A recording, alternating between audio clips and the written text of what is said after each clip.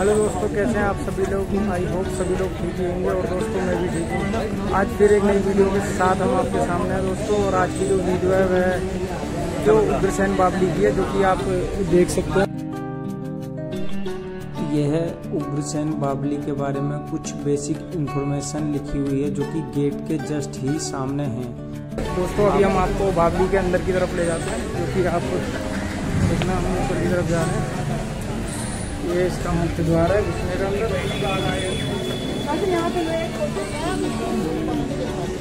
और दोस्तों बाबली कुछ इस प्रकार दिखती है।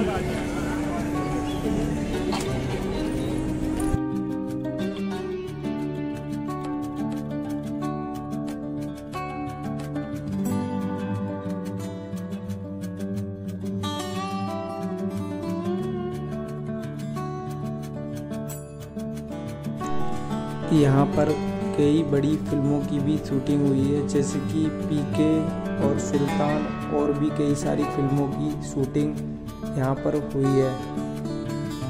और यह बहुत अच्छी जगह है घूमने के लिए। आप यहाँ आ सकते हैं। यहाँ की टाइमिंग सुबह आठ से शाम को पाँच बजे तक की है।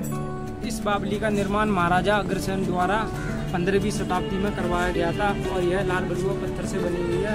इसमें कुल 108 सीढ़ियाँ हैं, जो कि ऊपर से नीचे तक हैं और यह बावली 15 मीटर चौड़ी व 60 मीटर लंबाई में है। और आप देख रहे होंगे यह मस्जिद है यहाँ की, जो कि अंदर हालत में है। और अगर आप यहाँ आना चाहते हो तो यहाँ नियर बाई मेट्रो स्टेशन बारह खम्बा रोड है। और यहाँ पे आने का कोई टिकट प्राइस नहीं है। आप बिल्कुल फ्री में आकर विज़िट कर सकते हो। आके आप देखो क्योंकि यहाँ पे बहुत बहुत ही अच्छी जगह है। आप आके यहाँ देख सकते हो।